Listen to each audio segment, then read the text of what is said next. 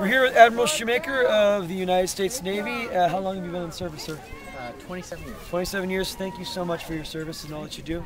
Uh, we are here, as I was explaining to him, uh, it's a tour called Writing the Rails. We uh, It's the first of many. We're getting off the train and we are stopping at stops to play shows, to raise money for St. Jude's.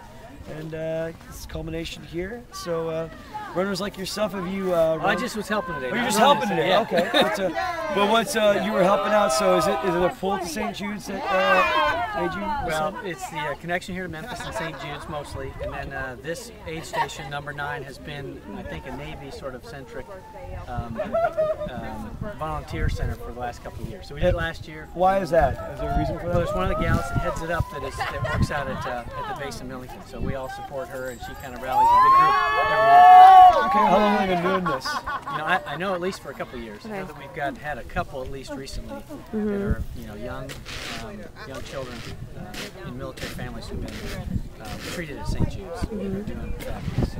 Well, yeah, everyone I've talked to about this, it just seems to be a connection. That, I'm playing a, an inpatient show for the kids and their parents tomorrow, so Oh, awesome. everyone I'm meeting just seems to come together. Yeah. That everyone that I meet has some connection somehow or some way. Uh, I wish I was more eloquent with my words like that, but uh, I guess it's just it's being filled with gratitude of people like yourself and uh, everyone around here.